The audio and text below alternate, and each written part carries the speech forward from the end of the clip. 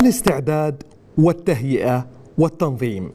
ضوابط لا بد منها مع الأبناء بعد انطلاق قاطرة العام الدراسي الجديد. كمسؤولية مشتركة بين الأسرة والمدرسة سعيا نحو التفوق والنجاح.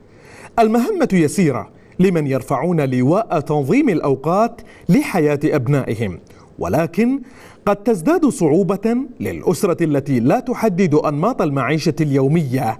بترتيب يخلق التحفز الدراسي بهمة ونشاط بعيدا عن مثبطات التفوق المدرسي. وبالتأكيد فإن العودة من عطلة صيفية طويلة يحتاج من الأسرة إرشادات لكسر هذا الحاجز النفسي الذي يخلقه انطلاق العام الدراسي الجديد ما يتطلب التحول لروتين أكثر تنظيما للحياة الدراسية التي تتطلب المزيد من المرونة والانضباط تحقيقا للتأهيل الإيجابي المطلوب.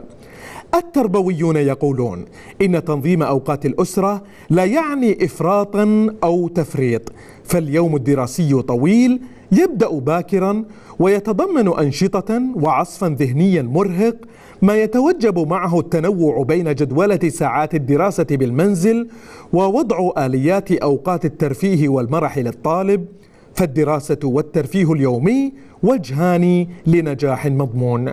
وبالطبع فإن للمتفوقين خارطة تنظيمية تجمع بين التغذية الجيدة وترتيب ساعات النوم والدراسة لضمان تحصيل دراسي دقيق مع إضفاء محفزات التكنولوجيا الحديثة كوسائل دراسية تخلق الدافع وتحقق الهدف وهو ما يتفق عليه الجميع باعتباره دورا مكملا للأسرة بعد المدرسة.